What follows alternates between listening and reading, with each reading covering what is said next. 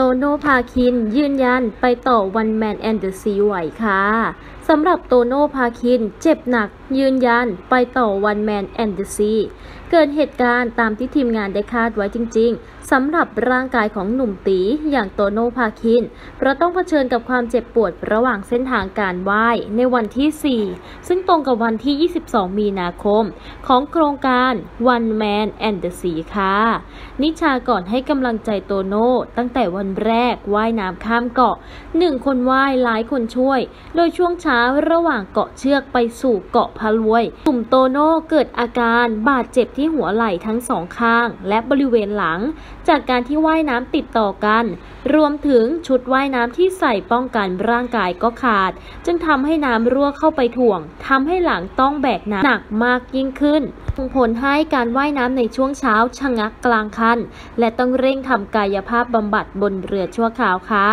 หลายคนต่างก็เอาใจช่วยสำหรับนักแสดงและนักร้องชื่อดัง อย่างหนุ่มโตโน่พาคินคำวิไลศักดิ์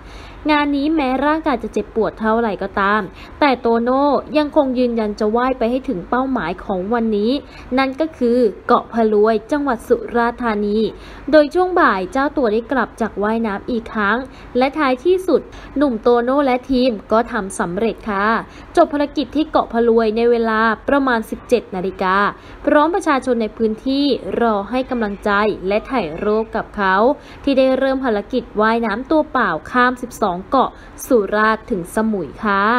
สำหรับภารกิจ One Man and the Sea หนึ่งคนว่ายหลายคนช่วย สามารถเก็บระยะทางตั้งแต่วันแรก ตั้งแต่วันที่ 19 มีนาคม ถึงวันที่ 22 มีนาคม ซึ่งเป็นวันที่ 4 ได้ทั้งหมด 21.5 กิโลเมตร โดยยอดบริจาคอยู่ที่ 2,264,613 บาท นี่คือยอดของวันที่ 22 มีนาคมค่ะ ทั้งนี้ในวันที่ 23 นี้ หนุ่มโตโน่จะหยุดพักการว่ายน้ำเพื่อฟื้นฟูร่างกายก่อนจะเริ่มว่ายอีกครั้งในวันอังคารที่ 24 มีนาคม จากเกาะพะลูไปสู่เป้าหมายนั่นก็คือเกาะสมุยค่ะ ซึ่งเป็นระยะทางกว่า 82 กิโลเมตร ภายใต้โครงการ One Man and the Sea หนึ่งคนว่ายหลายคนช่วย เมื่อวันที่ 19 มีนาคมที่ผ่านมาสามารถร่วมบริจาคเงินสมทบทุนซื้ออุปกรณ์ หรือเครื่องมือแพทย์ เพื่อมอบช่วยเหลือสัตว์ทะเล และโรงพยาบาลริมชายฝั่ง ผ่านทางบัญชีธนาคารไทยพาณิชย์ สาขาเพชรบุรีตัดใหม่ ชื่อบัญชี มูลนิธิบุรณะนบทแห่งประเทศไทยเพื่อเชิญชวนชาวไทยเริ่มสมทบทุนซื้อค่ะ โดยโครงการนี้ สามารถร่วมบริจาคได้ที่เลขบัญชี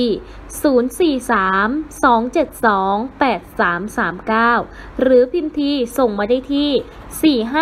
454-5909 ทุกเครือข่ายค่ะ ทั้งนี้สามารถส่งหลักฐานการบริจาคเพื่อขอลดหย่อนภาษีได้ที่ไลน์ at เทใจ .com ช่วยกันเยอะๆค่ะ และงานนี้ก็ต้องขอเป็นกำลังใจให้กับทีมงานและหนุ่มโตโน่พาคินด้วยค่ะ